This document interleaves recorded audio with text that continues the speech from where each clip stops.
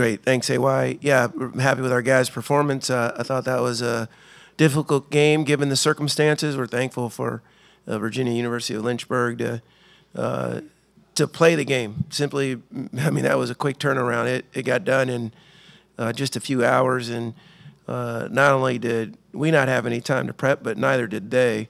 So just appreciative that we, uh, we, we had a chance and opportunity to play in front of our fans and certainly grateful that uh, they came out to support our group. Decent uh, high tonight, 60% from the field. What did you enjoy offensively about the attack here tonight?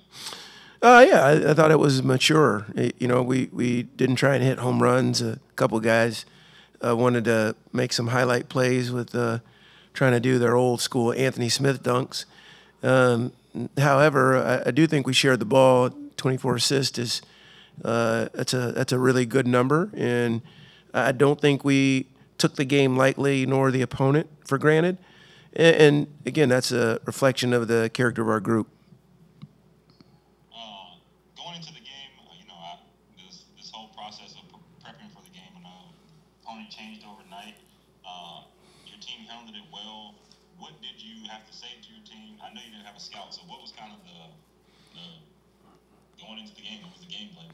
Yeah, and you know, our, our our message is the same. It's it's usually going to be about us. Uh, don't get me wrong. There's some details that we'll give in uh, in certain scouts with different opponents, but when there's such a quick turnaround, now mind you, our guys had prep for the Clark Summit game, so to give them another dose of eight players for a personnel deposit as well as their offense and defense, we just felt like that would have been overload. So we didn't say much other than hey, let's be about us and, and handle the game uh, with a with a sense of gratitude because we get to play. Uh, I mentioned to you, AY, in the pregame, just the remnants of 2020 and you know, not knowing if you're going to get to play a game that week, let alone the day before, and that, having to wait for the test. So uh, the fact that we got a chance to put the uniform on and uh, smell the popcorn was a good thing for us.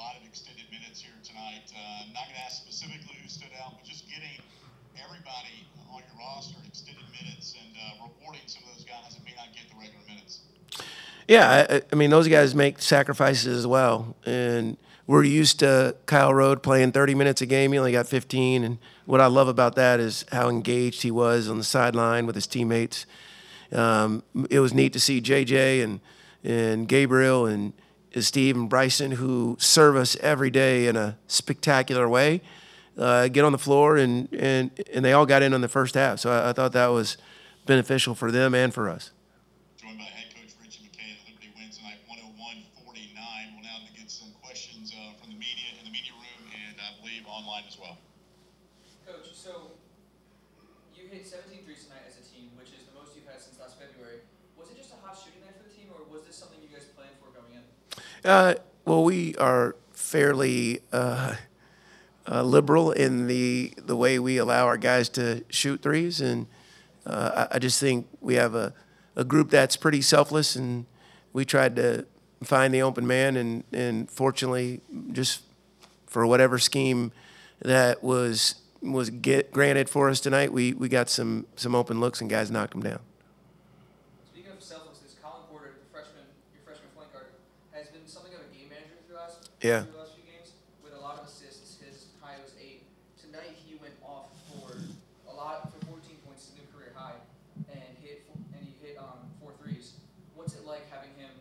as well as pass the ball? Well, every game that Colin plays is just a deposit into the bank account, and the the more reps he gets, the more experience he has in in games that are at this level, I just think it's going to benefit him and us because he's a really special player. He's got he's mature beyond his years, and you can tell how much respect he's garnered from his teammates uh, by how they celebrate him and how much they trust him with the ball. Yeah, Shiloh Robinson uh, grabbed his 332nd rebound tonight, which puts him at number 50 in Liberty Flames history with rebounds. What's his, what's his impact on this team? Yeah, Shiloh is. Uh, sometimes invisible. Like we don't give him enough credit for all the things that he does. He rarely makes a mistake defensively. He, uh, he sacrifices his own individual numbers for the betterment of the team and its advancement. So happy for him that he's in the top 50, not surprised. And, uh, and, and I think he'll just continue to climb up that ladder. Kyle Rode hit 11 out of the game's first 15 points. How was it to get some offensive um, production from him, even though he only played 15 minutes in tonight's game? Yeah, Kyle's capable of that, and we want him to do that. That's some teams have chosen to allow him to shoot open threes, and we welcome that. Uh, but again, Kyle's the kind of kid, whether he takes 15 shots or zero shots, his contribution or commitment to us winning the game doesn't change, and you got to love that about him. What are your thoughts on the Joseph Venzant one-handed slam? like I said uh, a little bit earlier, uh, guys were really trying to tear the rim off. Uh, you know, Joseph, Zach, Isaiah, Blake, we, we, we have some really good athletes. I'm missing a couple, but uh, maybe they'll hear the press conference and, uh, and uh, get in the weight room a little bit more. But uh, Joseph's capable of making some highlight plays, and I've seen it over the course of his high school career and in his short tenure with us. Happy for him that he got, got one of the highlights. Do we have anything else virtually, Ed? Yes, and uh, as far as this evening, the quick turnaround, you've had this, you've had Cancun already this year. Beneficial is that preparing your team for March, whether it's the ASUN tournament or hopefully the NCAA for you guys? Um, quick turnarounds, quick prep, and having to uh, adjust on the fly. Yeah, and I, I think for our group, you know, we have a mature group, and uh, I think for Zach and Colin, the freshmen that are playing the most minutes, uh, I think it's good to have a dose of that.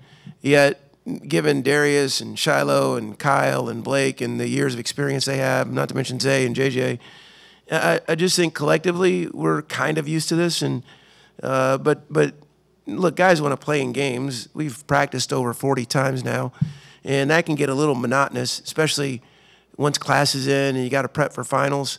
Uh, so I, I was just I was just pleased that you know we we approached the game with a sense of determination and uh, and effort that uh, I felt like we made a, a positive step this evening. All right, thanks guys. Oh, you have one more, Ed? Yeah, I was going to ask you well about about the offensive game in particular. We touched on Colin Porter and his overall game, but the offensive contribution. Is he more comfortable just, just selecting shots and knowing when to distribute? Uh, well, mind you, Darius was out the entire summer. So Colin has not played with Darius uh, maybe for two and a half months. And I think Colin defers a lot to Darius because his name is Darius McGee. But Colin's more than capable of scoring. He's just a pass first point guard that, you know, is still learning when to be opportunistic. And, uh, and again, I think he's going to be, I think he's going to be special. Uh, and it's just a matter of time. But he's, we, we all know, we see it on a regular basis in practice. He's more than capable of scoring the ball. Um, but uh, again, I I think the best thing about him is he takes what the defense gives us.